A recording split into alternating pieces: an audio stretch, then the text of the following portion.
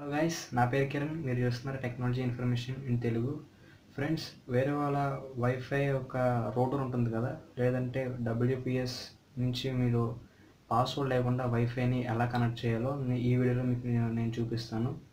జియోఫీ rotor అయినా కావచ్చు లేదంటే మీ ఇంట్లో వాడే రోటర్ అయినా కావచ్చు. పాస్వర్డ్ లేకుండా మీకు డబ్ల్యూపిఎస్ నుంచి వ్యాప్ పుష్ బటన్ అంటారు. దాని నుంచి మీకు ఎలా వైఫై కనెక్ట్ చేయాలో ఈ వీడియో చెప్తాను. ఫ్రెండ్స్ సో టాపిక్లోకి వెళ్ళిపోదాం. సో ఫ్రెండ్స్ ఫస్ట్ మీరు సెట్టింగ్స్లోకి వెళ్ళండి. నెక్స్ట్ వచ్చేసరికి ఫస్ట్ మీకు ఆప్షన్ వైఫై కనబడుతుంది కదా వైఫైకి వెళ్ళండి. సో మీరు జియోఫీ అని కనబడుతుంది కదా చూడొచ్చు. నాకైతే పాస్వర్డ్ తెలీదు. సో పైన డాట్స్ కనబడుతున్నాయి కదా సో అందులోకి వెళ్ళి అడ్వాన్స్లోకి వెళ్తే కింద మీకు డబ్ల్యూపిఎస్ అంటే వ్యాప్ పుష్ బటన్ అని కనబడుతుంది. దాని మీద ట్యాప్ చేయండి.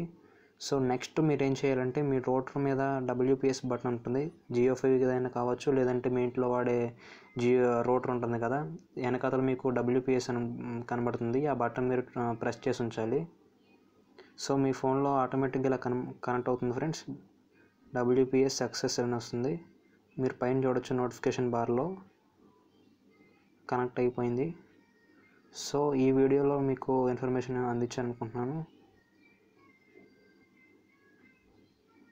ఫ్రెండ్స్ నేను ఏ వీడియో అప్లోడ్ చేసినా మీకు వెంటనే నోటిఫికేషన్ రావాలంటే సబ్స్క్రైబ్ మీద ట్యాప్ చేసి పక్కన ఉన్న బెల్ ఐకాన్ మీద కూడా ట్యాప్ చేయండి.